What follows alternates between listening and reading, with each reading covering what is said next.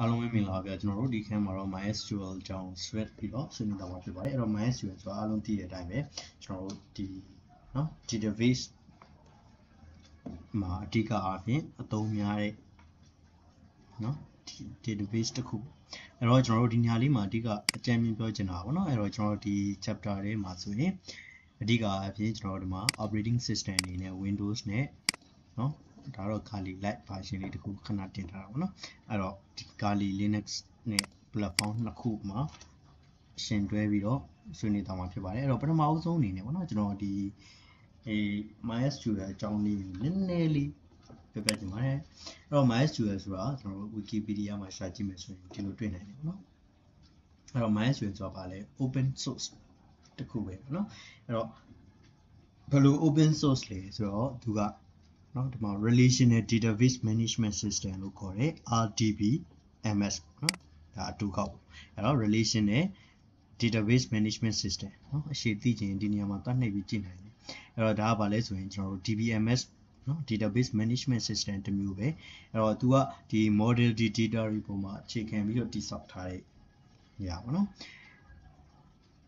ဟုတ်ပြီအဲ့တော့ဒီမှာဆိုရင် MySQL ဆိုတဲ့နာမည်อ่ะเนาะအဲ့တော့ ဘယ်လိုပေးထားတယ်ဆိုတာပါတွေ့ရမယ်ထားပါတော့เนาะအဲ့တော့ SQL ဆိုတာအားလုံးသိရတယ်မယ် structure query language ပါဟုတ်ပြီအဲ့တော့လောလောဆယ်မှာပေါ့เนาะအဓိကအဖြစ် MySQL ရဲ့မူလပထမကတော့ Sweden နိုင်ငံကနေစခဲ့တာဖြစ်ပြီးတော့အဲဒီကနေပြီးတော့เนาะဒီ SUN SAN ပေါ့เนาะအဲ့တော့ SAN microsystem ကနေပြီးတော့သူ့ကိုဝယ်လိုက်တယ်အဲဒီကနေတဆင့်အခုဒီနေ့ခင်မှာကျွန်တော်တို့ virtual box တွေပါတွေကို အဲပေးထားတဲ့ Oracle ပေါ့နော်အဲ့တော့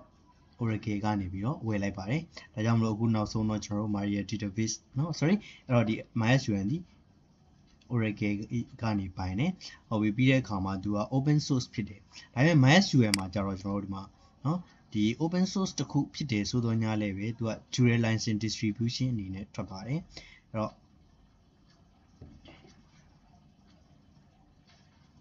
နော်သူကဆိုရင်ကျွန်တော်တို့ဒီ database ဒီထဲမှာပေါ့နော်အသုံးများတဲ့ popular ဖြစ်တဲ့အရာတစ်ခုဖြစ်လာတယ်အဲ့တော့သူက license နှမျိုးပေါ့နော်အဲ့တော့ဒီ free open source တစ်ခုရယ်နောက်ထပ်ဟိုကိုလိုချင်တဲ့အပိုင်းတွေကိုပြန်လည်ပြင်ဆင်အစားထိုးနိုင်လုပ်နိုင်ဖို့အတွက်ပေါ့နော်အဲ့တော့သူက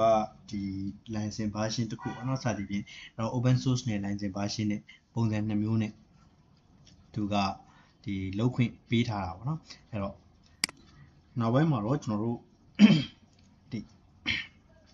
MySQL 5.1လောက်မှာပေါ့နော်အဲ့တော့ဒီသူ့ရဲ့ source code တွေကိုယူပြီးတော့ကျွန်တော်တို့ပြန်ပြီးတော့ပြုပြင်ဖန်တီးထားတာ Maria database ဆိုပြီးတော့ဖြစ်လာတယ်အဲ့တော့ဒီ Maria database ကကြတော့နော်ဒီ MySQL မှာသုံးတာတွေကိုပဲသုံးနိုင်တယ်အဲ့လိုပဲကျွန်တော်တို့ရဲ့ Kali Linux ထဲမှာလည်းပဲ Maria database နော်ဒီပါဝင်ပြီးသားဖြစ်တယ်အဲ့တော့ကျွန်တော်တို့ရဲ့ Kali မှာပေါ့နော်ဒီ ဘေးအင်အနေနဲ့ default တိုင်းပါဝင်လာတာ Maria database ဖြစ်တယ်အဲ့ဒီလိုပဲကျွန်တော်တို့ XAMPP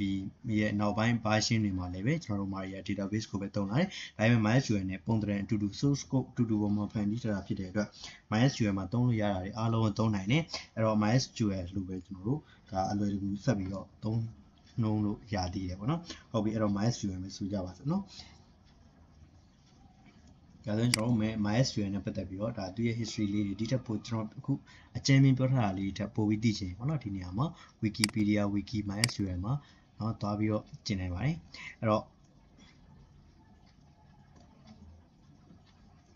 တော့ဒီမှာဆိုရင်ကျွန်တော်တို့ release history တွေစသည်ဖြင့်ပေါ့နော်အဲ့တော့ MySQL နဲ့ပတ်သက်တဲ့အချက်လက်တွေအများကြီးပဲကျွန်တော်တို့ဒီမှာကျင်နိုင်တယ် အဲကျွန်တော်တို့သိရမယ် PHP my admin ဘာစသည်ဖြင့်ပေါ့နော်အဲ့တော့ဟုတ်ပြီလောလောဆယ်မှာတော့ကျွန်တော်ဒါတွေမပြောသေးပါဘူးအဲ့တော့ MySQL MySQL နဲ့ပတ်သက်ပြီးတော့အသေးစိတ်ကိုကျွန်တော်တို့ Wikipedia မှာကြည့်နိုင်တယ်ဟုတ်ပြီအဲ့တော့ကျွန်တော်တို့ဒီခန်းထဲမှာအဓိကအဖြစ်တော့ MySQL နဲ့ပတ်သက်တဲ့အပိုင်းတွေကိုဆွေးနွေးသွားမှာဖြစ်ပါတယ်အဲ့တော့ကျွန်တော်တို့ဒီက web application တွေ ပေါ့နော်အဲ့တော့ဒီ website တွေ hacking လုပ်ရှင်နေပါညာပေါ့နော်အဲ့တော့ SQL injection တွေလုပ်ရှင်နေပါညာကျွန်တော်တို့ဒီအဲ့ဒီမှာလိုအပ်တာတွေက SQL နဲ့ပတ်သက်ပြီးတော့ကျွန်တော်တို့တည်တင်တည်ထားတိတိတိထိုက်တာတွေကိုတိထားဖို့လိုရမှာဖြစ်ပါတယ်။ဟုတ်ပြီအဲ့တော့ကျွန်တော်တို့ဒီ SQL injection နဲ့ပတ်သက်ပြီးတော့အဲ့တော့ဒီ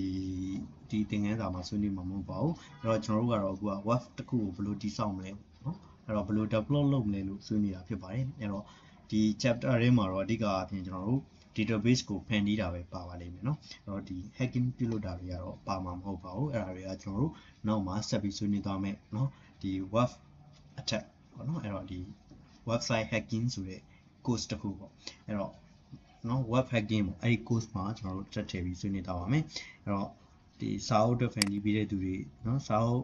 ဒီ grade 3 hacking စာအုပ်အတွက်ဆက်ပြီးဖန်တီးပေးထားတဲ့ course ထဲမှာတော့ကျွန်တော်တို့နော်ဒီ web developing course ပဲပါမှာဖြစ်ပါတယ်ဟုတ်ပြီအဲ့တော့ကျွန်တော်တို့ဒါ SQL နဲ့ပတ်သက်ပြီးတော့အကြမ်းမြင်လေးမိတ်ဆက်ပေးခဲ့တာပေါ့နော်အဲ့တော့ဒီ movie မှာတော့ဒီလောက်ပါပဲနောက်ထပ်သင်ခန်းစာလေးတစ်ခုမှာတော့ကျွန်တော်တို့ဆက်ပြီးတော့ဒီ MySQL နဲ့ပတ်သက်ပြီးတော့အခြေခံအချက်လေးနည်းနည်းဆက်ပြီးတော့ဆွေးနွေးသွားဖို့ရှိပါတယ်အားလုံး thank you ပါ